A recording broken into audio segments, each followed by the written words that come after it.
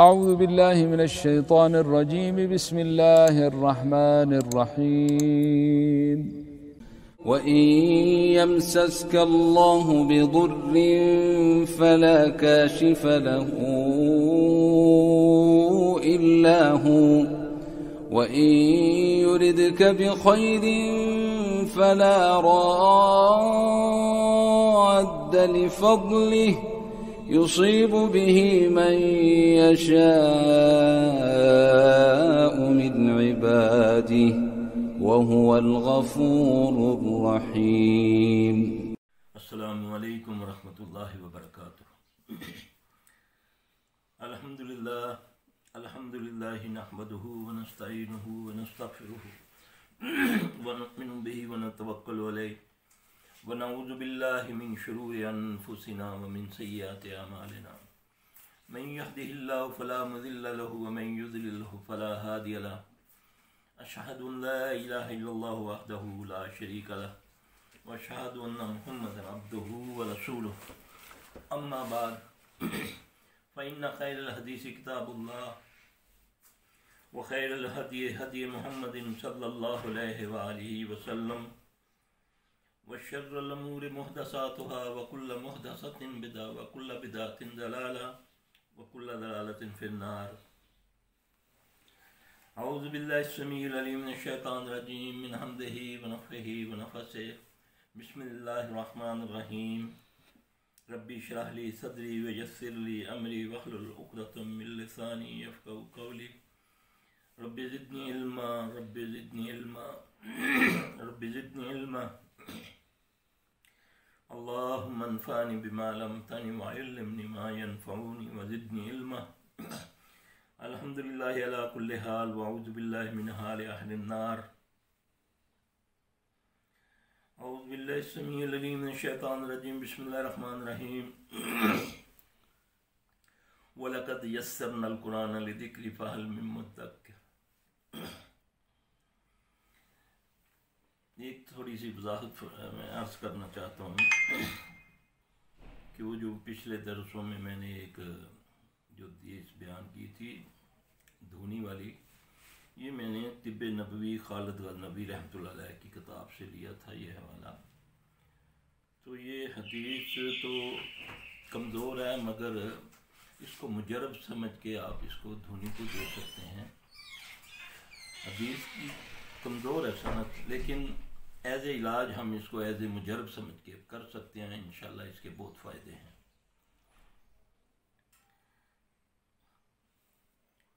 اللہ پاک قرآن پاک میں فرماتے ہیں کہ ہم نے اس قرآن کو آسان کر دیا، ہے کوئی اس کو سمجھنے والا؟ اب دنیا میں آپ یا میں دنیا میں کوئی بھی کتاب خریدتے ہیں کسی بھی اسٹڈی کی موڈ سے پڑھنے کے لیے ایک طالب علم لیتا ہے اسٹڈی کے لیے ایک محبت لیتا ہے۔ تو اس کتاب کو سمجھنے کے لیے لیتا ہے۔ دنیا کی کوئی کتاب، کوئی قاعدہ، کتاب، کوئی بھی ہو۔ مسلمانوں کو اللہ نے ایک کتاب دی جو اللہ نے دی جس کا نام ہے قرآن۔ بد نصیبی کہ اس کو ہم پڑھتے ہیں، سمجھتے نہیں۔ باقاعدہ ایک سازش کی گئی قرآن کے متعلق۔ دشمنان اسلام نے، یہود و نصارہ نے کہ جب تک مسلمان قرآن و حدیث پر عمل کرتا رہا، یہ غلبے پہ غلبہ آتا رہا۔ پھر انہوں نے اس کے بارے میں کچھ لوگوں کو پیدا کیا۔ مسلمانوں ہی کے گروہوں میں سے جنہوں نے ذہن میں یہ ڈالنا شروع کر دیا کہ یہ بہت مشکل ہے۔ اس کو سمجھنے کے لیے تمہیں چودہ علوم چاہیے۔ کوئی کہتا ہے اکیس علوم چاہیے۔ تو بھیجنے والا رب جس کی یہ کتاب ہے، اس نے فرمایا، وَلَقَدْ يَسَّرْنَا الْقُرْآنَ لِذِكْرِ فَحَلْ مِن مُدَّكِّرْ۔ ہم نے اس قرآن کو آسان کر دیا ہے، کوئی اس کو سمجھنے والا ہے کوئی۔ اس سے مراد خالی مسلمان نہیں۔ ہر کوئی اس کو سمجھنے والا، یہ ہدایت کی کتاب ہے، یہ حدل الناس ہے۔ یہ متقیوں کے لیے شفا ہے، مومنوں کے لیے شفا ہے۔ اندرونی، بیرونی، روحانی، جسمانی، ہر قسم کی شفا ہے یہ قرآن۔ اس قرآن کی اس کی کرامت یہ ہے کہ جب کافر اس کو رد کرنے کے لیے جب اس کی اسٹڈی کرتا ہے، تو وہ اپنی اصلاح کر لیتا ہے۔ اللہ اس کو ہدایت دے دیتے ہیں۔ مجھے ایک واقعہ یاد آ رہا ہے۔ ایک بندہ جرمن کا سائنسدان ہے، وہ لکھتا ہے کہ اپنی سوانے میں لکھتا ہے کہ میں مسلمان کیسے ہوا؟ ایئرپورٹ پہ بیٹھا ہوا ہوں، میرے ساتھ ایک مسلم نوجوان بیٹھا ہوا ہے۔ وہ ایک پاکٹ سائز قرآن نکال کے اس کو پڑھ رہا ہے، تو مجھے قرآن سے بڑی الرجک تھی۔ میں قرآن سے اس کو اچھا نہیں سمجھتا تھا۔ تھوڑی سی گفتگو اس کا اعلان ہو گیا، فون اس کا جہاز جانے کا ٹائم ہو گیا۔ وہ جاتے ہوئے وہ قرآن پاک مجھے پکڑا گیا۔ کہتا، آپ اس کو پڑھیں، وہ انگلش زبان میں تھا۔ کہتے ہیں کہ میں نے اس کو باد اللہ خاص تھا پاکٹ میں اس کے سامنے رکھ لیا۔ تو بعد میں سوچا کہ اس کو میں پوبل کر دوں گا، اس کو پھر آگ پھینک دوں گا کہیں۔ کہتے ہیں میں بھول گیا۔ پھر جب میں اپنی فلائٹ میں چلا گیا، تو عجیب سی میری کیفیت تھی۔ میں کچھ، کوئی رسالہ اٹھاتا ہوں، وہ پڑھتا ہوں، کوئی چیز، پھر اس کے بعد میری بازو لگا تو، ہاتھ لگا تو میری پاکٹ میں قرآن کا مجھے محسوس ہوا۔ تو میں نے اس کو نکالا۔ میں نے بولا، چلو اس کو دیکھتے ہیں، پڑھ کے کیا ہے۔ کہتے، جیسے ہی میں نے اس کو کھولا تو سورہ کہف کی وہ آیات جس میں اللہ تبان و تعالیٰ فرماتے ہیں کہ وہ جو صحاب کہف کے تھے وہ کتنے سال صاحب؟ میرے دن میں ایک سو تین سو۔ تین سو چودہ۔ یہ صحابہ کا کتنے سال سوتے رہے تین سو سال پورا کہتا ہے ان کا؟ یہ اب میرے ذہن سے نکل گیا کہ وہ اس نے اسے دیکھا۔ حالانکہ ابھی یاد تھا مجھے۔ تو اس نے بولا کہ میں نے غور کیا کہ یہ انسان اتنے سال سوتا رہا اور وہ کہتا پھر اس پر میں نے جب غور کیا کہ ہم ان کو کروٹیں دیتے رہے۔ تو میں ڈاکٹر تھا میں ریسرچ کی کہ واقعی کہ اگر وہ ساکت پڑے رہتے تو ظاہر ہے کہ ان کا جسم مٹی کھا جاتی۔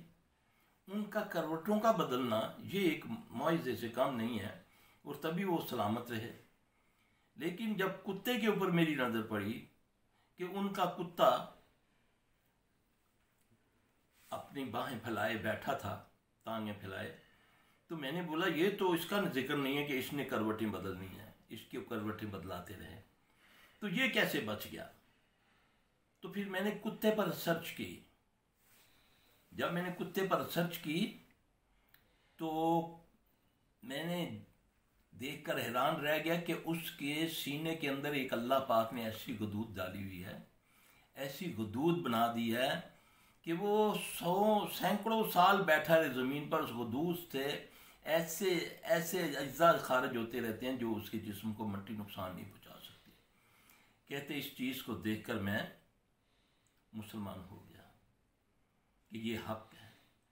اب مسلمانوں کی کتاب اتارنے والے رب اور ہماری گائیڈ بک ایک معمولی سی گھڑی، ایک موبائل لیں ایک ایئر فون لیں تو اس کے ساتھ چھوٹی سی کتاب ملتی ہے کہ یہ گائیڈ کر کے جس اس جس طریقے سے اس کو اس میں لکھا ہوا ہے۔ تو اس کو ہمارے لیے مشکل بنا دیا، اس سے ہمیں اتنا دور کر دیا۔ ٹھیک ہے، اس کو پڑھو۔ اس کے پڑھنے کا ثواب ہے۔ لیکن اس کو اس میں غور کرنے کا حکم ہے، غور کرو۔ آج مسلمان اگر قرآن پر غور کرتا ہوتا تو اللہ کے فضل سے اس پر رحمتے ہی رحمتے نازل ہوتی۔ ٹھیک ہے، پڑھتے ہیں۔ آج میں نے دوست پارے پڑھ لیے، یہ کر لیا، وہ کر لیا۔ یہ کیا مجھے نہیں سمجھ آ رہی کہ اس کو سمجھیں گے نہیں تو کیسے آگے چلیں گے؟ اس میں ہماری ساری زندگی کا، ساری زندگی کیسے چلانی ہے، اس سے میں ہماری سیاست، ہماری معاشرت، ہماری ثقافت، یہ پوری گائیڈ لائن ہے۔ مگر بد نصیبی ہے کہ ہم نے قرآن کو سمجھا ہی نہیں ہے۔ کاش ہم نے قرآن کو سمجھا ہوتا۔ اللہ فرماتے ہیں، میں نے اس کو آسان کر دیا۔ ایک بار نہیں، دو بار نہیں، تین بار نہیں، چار بار اللہ نے سورہ کمر میں فرمایا۔ وَلَقَدْ يَسَّرْنَا الْقُرْآنَ لِذِكْرِ فَهَلْ مِن مُدَّكِّرٍ۔ ہم نے اس کو آسان کر دیا ہے، کوئی اس کو سمجھنے والا۔ تو بد نصیبی یہ ہے کہ میں اگر اس کو پڑھوں، اس کو سمجھوں، تو میرا ایمان ہے انشاءاللہ العزیز انشاءاللہ العزیز اللہ کے فضل سے ہمارے معاملات اسی میں حل ہیں۔ اب کوئی مشکل آئے اللہ قرآن میں فرماتا ہے کہ تم پر کوئی مشکل آئے تم کیا کرو؟ وسطین و بصبر وسلح یہ قرآن کہہ رہا ہے؟ کوئی لمبا چوڑا نسخہ ہی نہیں ہے۔ نماز اور صبر، یہ نسخہ ہے۔ یہ دوسرے جو معاملات ہیں، جتنے بھی ہمارے ہیں، ذرا سی مشکل میں ہم کیا کیا وظیفے، چلے شروع کر دیتے ہیں۔ اللہ فرما رہے ہیں کہ یا الذین آمنوا استعینوا بالصبر والصلاۃ اب نبی علیہ السلام صلی اللہ علیہ وسلم پر آپ صلی اللہ علیہ وسلم کو بچھو نے کاٹا ہے، جسمانی طور پہ کاٹا نا۔ آپ نے فرمایا لانت ہو اس اکرم پر۔ یہ نہ دیکھتا ہے، نبی نہ دیکھتا ہے آمی اس کی فطرت ہے کاٹنا۔ پھر نبی صلی اللہ علیہ وسلم نے اس کا پریکٹیکل کیا بتایا۔ آپ نے اس کے اوپر سورہ فاتحہ سورہ فلق اور ناس بھی پڑھی اور نمک اور پانی لیا اور اس پر۔ اب یہ پوری گائیڈ لائن ہے دوا اور دعا بھی۔ کسی بھی معاملے میں، یہ قرآن سے ہمیں ملتا ہے۔ کون سی ایسی چیز ہے جو قرآن میں موجود نہیں ہے؟ اگر وہ سمجھ نہیں آتی تو نبی ہمیں سمجھا دیتے ہیں۔ ایک سازش کے تحت ہمیں قرآن حدیث سے دور کیا گیا۔ حدیثوں کے معاملے میں یہ ذہن ڈال دیا گیا کہ یہ تو میں نہیں سمجھ آئیں گے یہ تو تفرقہ ڈالتی ہیں۔ یہ اس کے پڑھنے سے تو آدمی بالکل گمراہ ہو جاتا ہے ناؤز باللہ من ذالک۔ اور باقی جو موٹی موٹی کتابیں لے کر ہم بیٹھ کے پڑھنا شروع کر دیتے ہیں جس میں قصے کہانیاں، خواب فلاں فلاں، تو وہ ہدایت دیتی ہیں ہمیں۔ آؤ قرآن سے جڑے ہیں صحابہ کہتے ہیں، ہم بیٹھے ہوئے ایک مجلس میں، نبی علیہ السلام تشریف تشریف فرما ہوئے۔ ہم سب قرآن پڑھ رہے تھے۔